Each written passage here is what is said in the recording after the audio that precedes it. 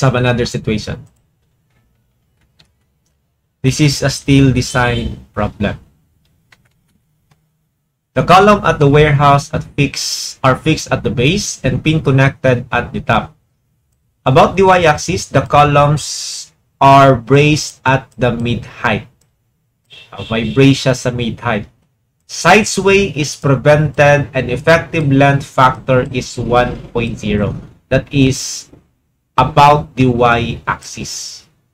Okay? Side sway is prevented. Then, along the x-axis, there is no brace. Walang brace along the x-axis at the mid-height. Balibo talaga yung length natin. Side sway uninhibited and effective length factor is 1.2. Yan yung effective length factor K natin. That is about the x-axis or strong axis. Column length given is 6 meters. So, given yung properties ng ating um, I, I column no? or wide flange, the area is 8550 square meters. We have the depth, wide flange, flange width, Then thickness, web thickness, mod, uh, modulus of elasticity, inertia about x and y, radius of gyration about x and y. And you have the Fy, steel yield strength. Ano ba yung ibig sabihin ng dalawang ano dito? Statement about the x and y axis. So imagine natin, you have the, a column fixed at the base and pin connected at top. Yan. It is 6 meters long. Column length is 6 meters. About the y-axis, the columns are braced at the mid-height. So, commonly talaga, binibracean, uh, nilalagyan ng brace sa uh, about the y-axis. Andito yan. Ito yung bracing dyan. Kasi mas madali siyang mag-buckle. Mag-buckle about the y-axis. Mas ma kaya sa tinawag na weak axis. Na? Kaya may bracing dito. Yan. Titingnan natin dyan sa cross-section. Ganito siya. By the way, ito lang yung given sa word exam. Okay? So, 255 yung ating depth. Given yan. About the y-axis, the column are braced at mid-height. So, if this is 6 meters, uh, yung bracing na yan is nasa 3 meters length at the base. Same as dito. Okay? Imagine natin kung mag-apply tayo ng action load P, tingnan natin sa dalawang cases buckling about x and buckling about the y-axis. So, ano yung magiging buckling about x? Ganito yung scenario dyan. It will buckle about the x-axis in this way. Okay? So, ito yung buckling about the x-axis. Pag ganyan. And ito naman yung buckling about the y-axis. Pinipigilan sa mag-buckle dito so that ito yung ating effective buckling. Okay? So, tingnan natin yung animation dyan. Yan. So, this is the buckling about the x-axis. Binigay yung effective length factor. Along the x-axis, there is, there is no uh, bracing at the mid-height dito. So, talagang mag, magbabuckle siya. Pag ganyan. Okay? Effective length factor is 1.2 K sub x. This is the buckling about the y-axis. So, at this point, napigilan siyang magbuckle totally totally, no? Kasi merong bracing dito. So, buckle siya dito sa gitna. Then, eto naman. Pabalik siya dito sa last portion. So, this is buckling about y-axis. And binigay dito, effective length factor is 1.0. For this problem, mula tong problema. No? Uh, kung hindi yan binigay, uh, dapat magbigay siya ng table or sometimes we need to memorize the uh, the table. Dalawa kasi yung, uh, dalawang klase yung ating pagkuha ng effective land factor. Anyway, focus muna tayo dito sa problem na to. Part 1, for the axial compressive stress, uh, solve for the axial compressive stress. Yan yung term niya, stress. FA. Dapat tawag dyan strength. Allowable. Yeah? F sub A capital. That would be permitted uh, if the axial force does exist. So, for the axial compressive stress. So, bale, axial compressive stress, tinata uh, tinutukoy nyo dyan is allowable. Refer to the table below. So, binigay yung table. Ito yan. That's the allowable compressive stress for compression members. Uh, this is in uh, for 248 MPa specified yield stress. So you have here the corresponding KL over R and, and yung corresponding FA niya, allowable stress, as compressive stress. So bale, we need to solve for the KL over R. Then hahanapin natin dito yung kanyang um, uh, allowable stress. Alright, so we need to solve for KL over R. Dapat critical slenderness ratio.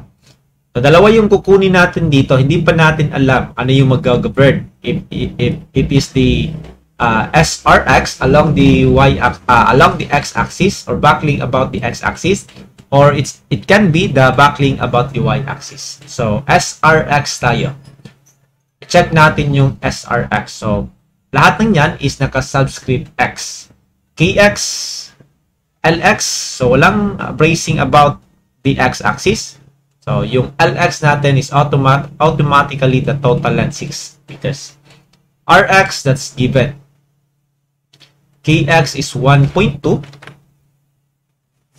Yung L natin, ginawa natin siyang 6,000 millimeter over RX. 65.46. Then we need to check the uh, slenderness ratio about the Y. So subscript Y yan hat. Basically, dalawa yan. Dalawa yung ating SRY. Ito or dito. But since nagbigay siya ng K, isang value ng K, oh, kahit isa lang yung i-check natin. Disayno naman sila ng length dito, 3 meters and 3 meters dito sa baba. Da? Walang binigay kasi na K, uh, mag, uh, magkaiba yung case ng dalawa. Yung K dito sa taas and yung K. Depende yan sa condition sa support. Anyway, binigay siya. Isa lang. So, automatic tayo. K is 1.0. Yung L natin is 3 uh, supported length. Da? Ito yung supported length natin, 3 meters or 3,000 millimeter. Yung ating RY is 51. Okay, so yung pipiliin natin critical slenderness ratio is yung malaki. The maximum slenderness ratio, 65.46. After that, titingnan natin yung table. Saan banda yung 65.46? Dito yan. KL over R. So, 65. Si 65 andito. But 65.46 yun exactly.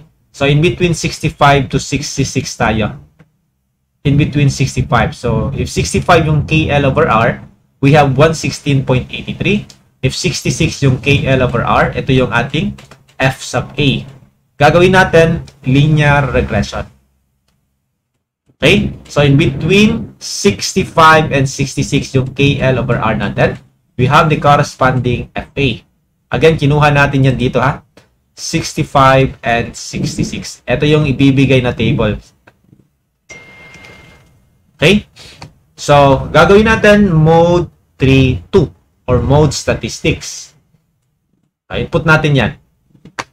65 and uh, 116.83, 66 and 116.13. So, yung FA natin is equal to 65.46, that 1K, the exact KL over R, Y hat. Y hat. And that is 116.51 megapascal. Okay? So, nasa mode 3 to yan. Paano ba yan gawin? Kita natin using our calcu.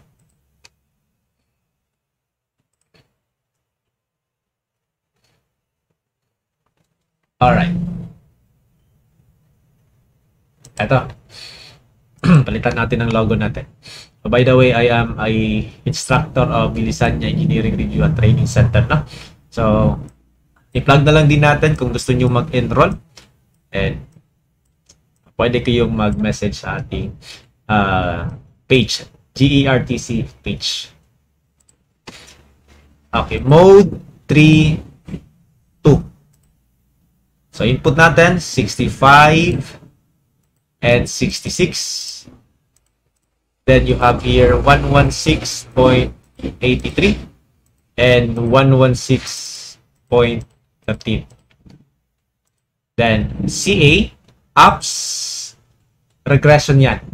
regression is 8. Then y hat. So, ilalagay natin dito. Ang ibig sabihin dito is ano yung value ng FA or yung y if the x or yung ating KL over R, slenderness ratio is 65.46. That's uh, 116.51 megapascal. okay, so part 2.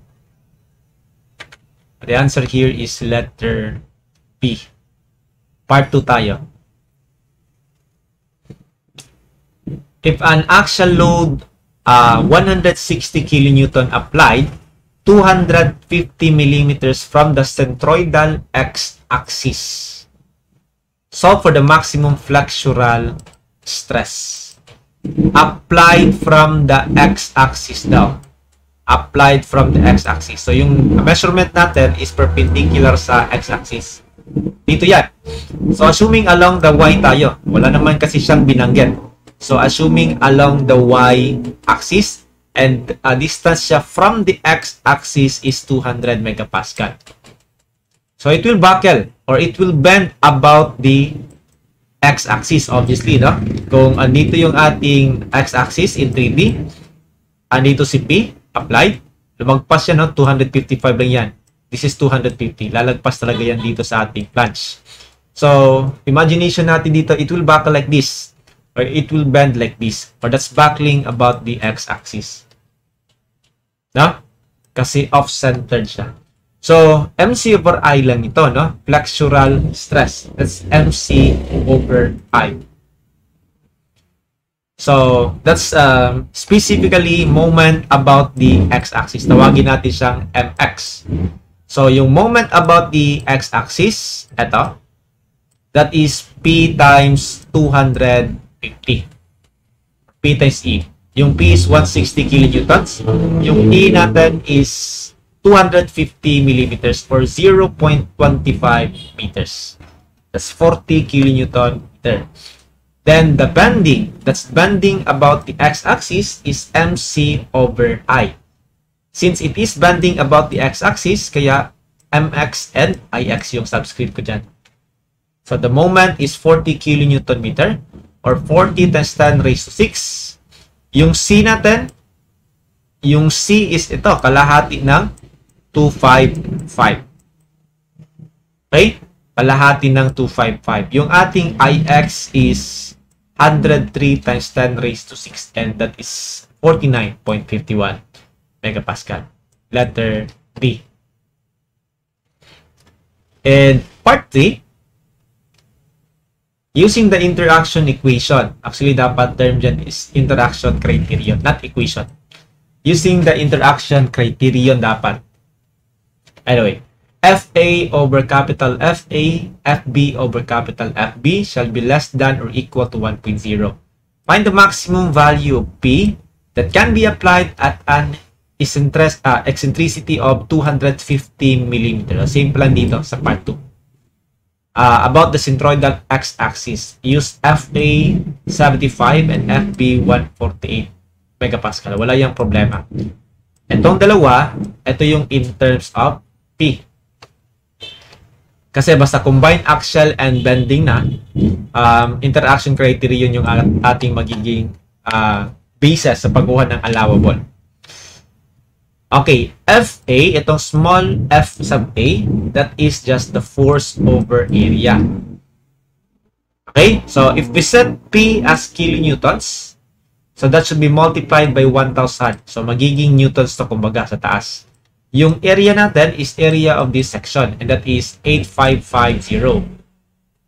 Evaluating 1,000 over 8550, that's 20 over 171 in terms of P tayo. And the F sub B, okay, that's bending about, take note, bending or buckling about the x-axis. So FBX, MX, and IX. Yung C natin is ito. Alright, what is MX? Uh, take note, MX is P times 250. Adatso natin. Ito yung MX, P times 250 or 0.25 meters times P. So, I set this one as P as kilonewtons ha, para consistent tayo. Kilonewtons and kilonewtons dito sa baba. So, 0.25 meters times P na kilonewtons. Times 10 raised to 6 tayo para maging, um, ano to, uh, kilonewton, uh, newton millimeter yung output nito lahat. Times 10 raised to 6. Again, yung C natin is 255 over 2. And yung IX is 103 times 10 raised to 6. So, evaluating this one, itong mga constant, multiply natin, that's 255 over 824 in terms of P tayo. And using this uh, criterion, FA is ito. Alright, FA over F sub A. F sub A is 75 plus yung FB natin is 255 over 824 in terms of P over f sub b na 148 shall be less than or equal to 1.0. So makukuha natin dito, p is less than a value. Or we call that maximum p allowed. 273.94. That's letter C. Okay, so that is for this situation.